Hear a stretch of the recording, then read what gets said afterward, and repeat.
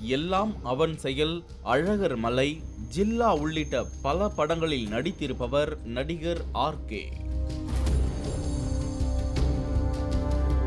இவர் தலைமுடியை நீளமாக வளர்ப்பதாகவும் தூக்கத்தில் விடும் குரட்டையிலிருந்து விடுவிப்பதாகவும் கூறி ஆயுர்வேத பொருட்களை தயாரித்து விற்பனை செய்து வருகிறார். இந்த நிலையில் நடிகர் ஆர்கே மீது திருப்பூரை சேர்ந்த கோவிந்தராஜ் என்பவர் காவல் கண்காணிப்பாளர் அலுவலகத்தில் மோசடி புகார் அளித்துள்ளார்.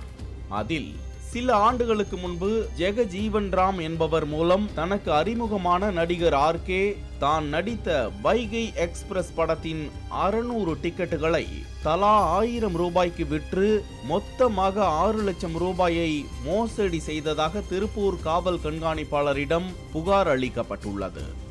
இந்த சினிமா டிக்கெட் வந்து ஏஜென்சி எடுத்துக்கோங்க. வைகை எக்ஸ்பிரஸ் வந்து படம் அடுத்த அடுத்த வருஷம் ரிலீஸ் ஆகும். ஏஜென்சி எடுத்துக்கோங்க திருப்பூருக்கு. அப்படின்னு சொல்லி ஒரு டிக்கெட் ஆயிரம் ஆயிரத்தி ஐநூறுரூவாய்க்கு விற்கலாம் அப்படின்ட்டு ஒரு அறநூறு டிக்கெட் கொடுத்தாருங்க. ஆறு லட்ச ரூபா வாங்கிட்டு ஒரு அறநூறு டிக்கெட் வந்து கொடுத்துட்டு போனாருங்க. திரும்ப ஒரு வருஷம் கழிச்சு படம் ரிலீஸ் ஆச்சு.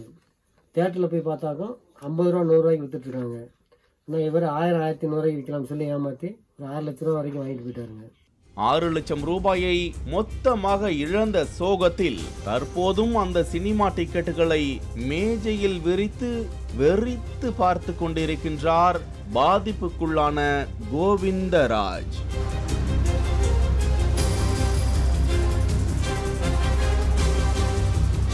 இது தொடர்பாக விளக்கம் அளித்துள்ள நடிகர் ஆர்கே தன் மீது புகார் தெரிவித்துள்ள நபரை தனக்கு தெரியாது என்றும் லோக்கல் விநியோகஸ்தருடனான பிரச்சனையில் தன்னை தேவையில்லாமல் இழுத்து விட்டுள்ளார் என்றும் கூறினார்.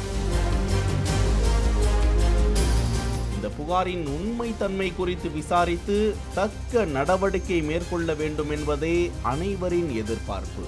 பாலிமர் செய்திகளுக்காக திருப்பூர் செய்தியாளர் செந்தில் மற்றும் வேல்ராஜ்.